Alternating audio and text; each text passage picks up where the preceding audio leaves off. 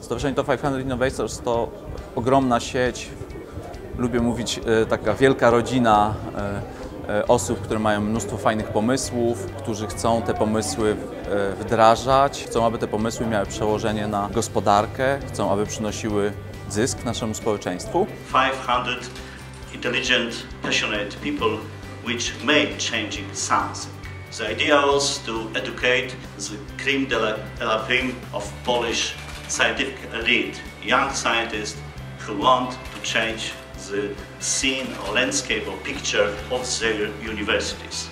które to osoby są jednocześnie absolwentami e, programu Top 500 Innovators, pierwszego w historii tego rodzaju programu e, na tak, przeprowadzonego na tak dużą skalę i z udziałem jednych z najlepszych uczelni na świecie.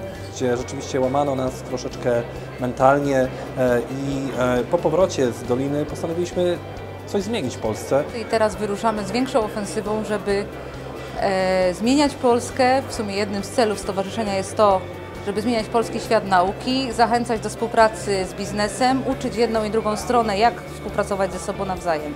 Jest to obecnie gorący temat w Polsce e, i wiemy, że e, będąc tak silną grupą, grupą specjalistów, zarówno naukowców, jak i specjalistów od transferu technologii, jesteśmy w stanie e, wywrzeć istotny wpływ Wszelkie wyniki badań powinny być komercjalizowane i powinny być użyteczne, powinny służyć społeczeństwu w szerokim tego słowa znaczeniu, e, powinny czemuś generalnie służyć. Nie powinny być wykonywane tylko po to, aby, aby realizować projekty badawcze, ale żeby te projekty badawcze były wdrażane, żeby służyły jakiejś większej, szerszej, namacalnej idei. Chcemy aktywnie uczestniczyć w kreowaniu krajobrazu innowacyjnego w Polsce. Chcemy aktywnie włączać się w te inicjatywy, których celem jest wspomaganie i tworzenie polskich innowacji. You are all about Poland's future, a bright future that's going to innovate and invent new things and move Poland to the leading innovative power in the world in close partnership with your friends in the United States. But generally, it is